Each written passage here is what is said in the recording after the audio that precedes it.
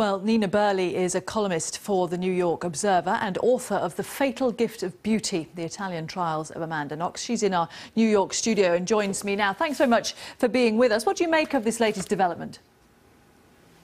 Well, I mean, it's. I think it's a mistake. I think that um, it was a mistake to convict them in the first place, and um, I think that uh, you know, Americans are often, we Americans who think that, that there has been a mistake made are often accused of, of being anti-Italian or anti, you know, or dissing the Italian justice system. And, and I want to make clear that these types of mistakes are very common in the United States and probably all around the world. When a prosecutor makes a mistake, they don't usually like to turn the ship around. And in this case, they, uh, they took the wrong people in early. Um, they were in a, in a rush to, to, judgment.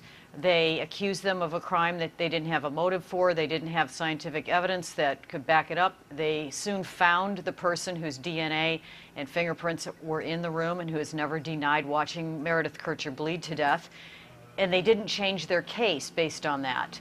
And um, I think the Italian justice system works. It's, it's, a, it's a slow process. It has many levels. And um, obviously the defendants are going to appeal, I, I think, and uh, it will go on and on. We saw, we saw from uh, the appearance of Amanda Knox on American TV this morning, she was uh, very defiant in saying she would never go back to Italy. She would find that extremely difficult. Where do you see that going? Do you think the Italians will press for her uh, and press the American authorities to, to get her back to them? Um, I, I, that's really a question for the Italian uh, journalists. I, I don't know. I mean, I, I think that the, the prosecutor, at least at the first level where I was covering it, uh, was, you know, he, he was quite um, committed to this um, scenario that he painted. And so I think that he will continue to press it. Whether they try to extradite, how important is it for them to extradite this, this woman and bring her back?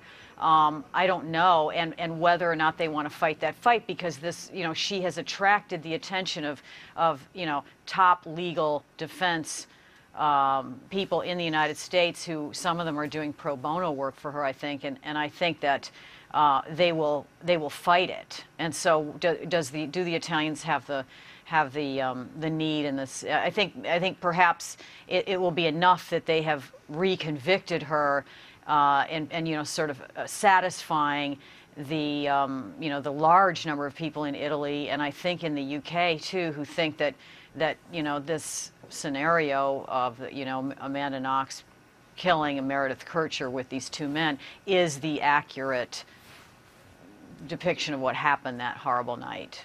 She has proved a, a, hugely divisive figure. We sort of saw two portrayals of her in the media. On the one hand, a, a young woman caught up in a, in a, foreign country, caught up in a legal system she didn't understand. And on the other hand, these headlines, Foxy Knoxy, and lots of uh, talk of her inappropriate behaviour, her strange behaviour. What did the American public make of her?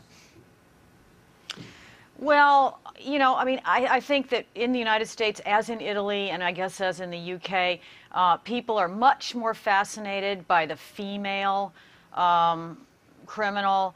And, you know, the sad truth is that most of these violent, most violent crimes committed against women are committed by men. Male violence is, a, is so common around the world and so mundane that we're just not as interested in it as we are in these, you know, the, the occasional uh, female alleged murderer. And um, so, but in this case, I, I, think, you know, the American response, I mean, you know, I can't really judge that. I think that, you know, the day before the verdict, people were calling me from your television network and asking me, what is the American, what are the Americans thinking about this? And I, Americans were not even thinking about it at all. I think yesterday when that court case, you know, when they announced the verdict, um, it got 30 seconds on CNN and Fox, and that was it. And then everybody on social media was sort of, what what was that? Because people hadn't been paying attention to it, and now there's this sort of bafflement combined with the kind of an anti-Italian. Uh, stuff that's going on on the internet, and it's very ugly and it's unfortunate. But this case, you know, it's a simple crime that has been built up, it, surrounded by sexist archetypes, um, you know, national pride, and unfortunately racism. Um, and these combined things are what make people so interested and mystified by what really is a simple crime. And it's, it's very unfortunate that um, people have not put more effort into uh, finding out a lot more about Rudy Guede, who's never denied being in the room with Meredith Kercher's blood all over his hands. And, um, and, and you know, that, that person, Rudy Guede, will be walking on the streets of Rome very soon because he took a plea deal when he put Amanda Knox into the house. Okay. Nina, good to have your thoughts. Thanks very much for being with us. That's uh, US journalist Nina Burleigh.